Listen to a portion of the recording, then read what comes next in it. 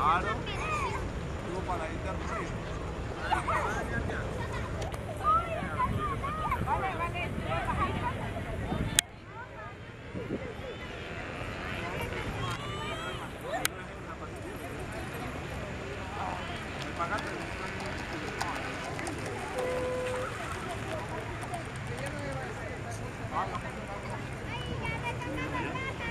Ah, la gente, no,